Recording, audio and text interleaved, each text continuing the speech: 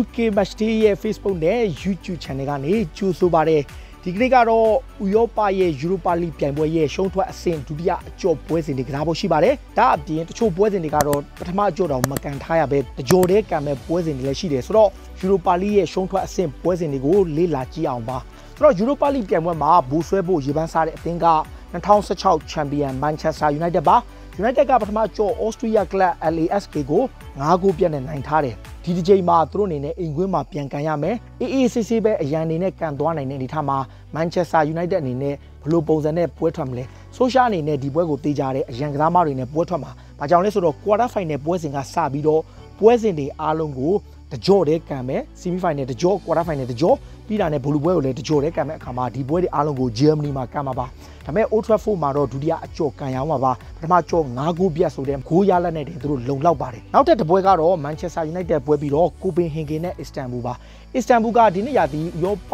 တူတကီလိမှာထူးထူးခြားခြားဒီ Besiktas တို့ Galatasaray တို့ဒီ Fenerbahce တို့ကိုကြော်ပြီးချန်ပီယံဖြစ်ထားတဲ့အသင်းဒါအပြင်ပထမကြော်တုန်းကလည်း Copenhagen ကိုတကူးကုန်းရှိနေနိုင်ထားတယ်ဆိုတော့ Denmark ကလပ်ကိုသူတို့အနေနဲ့ ဒီတူရကီမှာခြေစွမ်းပြတယ်မျိုးကြော်ဖြတ်နိုင်တာ သူတို့အနေနဲ့လည်းလက်ရှိမှာစိတ်တဲ့ပိုင်းဆိုင်ရာအထူးသဖြင့်တူရကီစူပါလိကိုရထားတဲ့အတွက်ကြောင့်စိတ်တဲ့အရန်တက်ကြွနေတယ်ကိုပင်ဟေဂင်ကတော့တကယ်ဥရောပမှာမခေတဲ့အသင်းတစ်သင်းဖြစ်ရှိတာပါနောက်တစ်သင်းကတော့ရှက်တာဒိုညက်နဲ့ဝူးစ်ဘက်ပေါ့ဝူးစ်ဘက်ကတော့ပထမကြော်မှာနှစ်ဂိုးတကူနဲ့ရှုံးထားတယ်ရှက်တာဒိုညက်အနေနဲ့ချန်ပီယံဟောင်းလည်းဖြစ်တယ်တကယ်လည်းခြေစွမ်းထက်တယ်ယူကရိန်းကအခြေစိုက်ကစားမတွေအပြင်ဘရာဇီးကစားမတွေတော်တော်လေးပါတယ်ဒီပြိုင်ပွဲမှာအမြဲတမ်းအဆင့်တန်းတစ်ခုထိရောက်ရှိနေတဲ့ရှက်တာဒိုညက်ကိုဒီ Wolf Bus အနေနဲ့ရှင်နိုင်ဖို့ခက်ခဲပါတယ်ဒါကတော့အဲ့ဒီနေ့မှာပဲနောက်ဆုံးတစ်ပွဲကတော့ ဒီ Inter Milan နဲ့ Getafe ပါဒီပွဲကထူးဆန်းဆန်းခုနပွဲတွေအားလုံးကတကြောစီကန်ပြီးပေမဲ့အဲ့ပွဲကတော့ပထမကြော့ပွဲကိုမကန်ခင်မှာပဲကိုဗစ်ဖြစ်လို့ရပ်သွားတဲ့အတွက်ကြောင့်ဒီပွဲကိုဂျာမနီနိုင်ငံမှာတကြောပဲကန်ပါအန်တိုနီယိုကွန်တေရဲ့အသင်းကဒီနေ့ရာသီတစ်ချောင်းလုံးမှာစီးရီးမှာတကယ်ခြေစွမ်းပြနေတဲ့လူကာကူ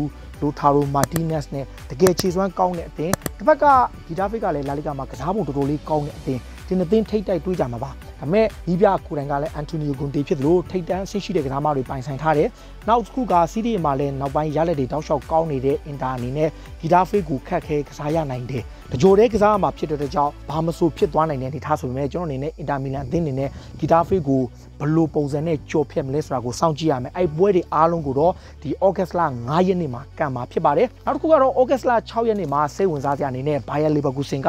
ဒီ Ranger နဲ့ကန်ရမယ်အဲ့ပွဲကတော့ပထမကျော် Ranger ကွင်းမှာပဲ Leverkusen က3ဂိုးတဂိုးနဲ့နိုင်ထားတဲ့အတွက်ကြောင့်ဒီ Leverkusen ကိုအဝေးကွင်းမှာသွားကြော်ဖို့ခက်တယ်ဗျဆိုတော့ Bayer Leverkusen ပဲ AACC တက်သွားနိုင်တယ်နောက်တစ်ပွဲကတော့ဒီ FC Basel က Frankfurt နဲ့ကန်ရမယ် Frankfurt ကို3ဂိုးပြတ်လဲနိုင်ထားတယ်ခြေစွမ်းရရော Basel ပေါ့ Switzerland club ကတကယ်ကောင်းတဲ့အသင်းဖြစ်တဲ့ကြောင့်ကျွန်တော်အမြင်တော့ FC Basel ပဲအခြေအနေကောင်းသွားနိုင်တယ်ဗျနောက်ဆုံးတစ်ပွဲကတော့ Wolf နဲ့ Olympia ကိုပေါ့ Wolf ကတော့တကယ်တောက်လျှောက်ခြေစွမ်းပြနေတဲ့တတိယဘူဆွဲဖို့ရေပန်းစားလို့အသင်းဒီ Nuno Santos ရဲ့အသင်းက Premier League မှာလည်းတကယ်ကောင်းခဲ့တယ်ဒါပေမဲ့သူတို့ဒီဘယ်လိုပြောမလဲ Premier League ရဲ့နောက်ပိုင်းပွဲတွေမှာရလက်တွေကျခဲ့ပေမဲ့တစ်ဖက်က Diego Jota ဒီ Neto အပိုင်းဝင် Abatama Traore ပြီးတော့မှ Raul Jimenez လိုကစားမတွေရှိတယ်ဆိုတော့ပထမကြော့ ဒီအိုလံပီယာကောကွင်းမှာတကိုးစီတေချာထားပေမဲ့ Wolf ကမိုလီညူမှာသူတို့တေချာပေါက်ကောင်းကောင်းကစားနိုင်မှာပါတော့ Wolf ကအိမ်ကွင်းမှာကစားရမယ်ပွဲပါနောက်တစ်ပွဲကတော့တပွဲတဲ့တကြော့တဲ့ကန်ရမယ်ဆဗီယာနဲ့ရိုမာပါနှစ်သင်းလုံးကတကယ်ကောင်းတဲ့အသင်းတွေပါဆဗီယာကတော့ဒီပြိုင်ပွဲမှာ9ချိန်ချန်ပီယံဖြစ်ထားတယ်